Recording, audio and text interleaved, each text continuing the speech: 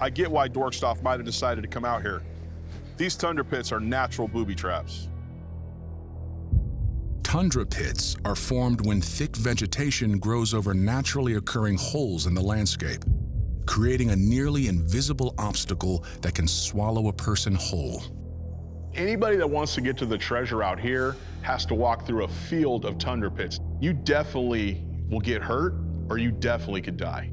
That's how Dorkstoff operated. He's gonna make this as hard as possible.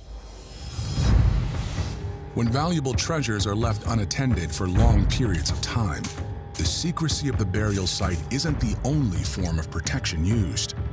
Often, deadly traps or other physical deterrents were an important method to keep hoards safe. Captain Kidd is said to have buried his treasure in deep pits that would flood with water and drown any intruder who would try to dig for his gold. Even the ancient Egyptians would booby-trap treasure-filled tombs with deadfalls and sheer vertical drops to keep grave robbers out.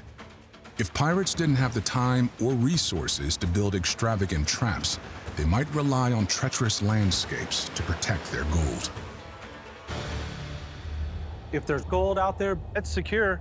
No one's gonna come this far inland, this far up, and even look for it. This is better than any damn safe I've ever seen. If you think about it, and Dorkstoff did come all the way up here with that gold, his plan worked.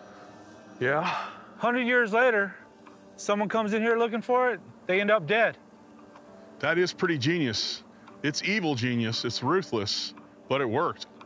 Let's hope we fare a little better.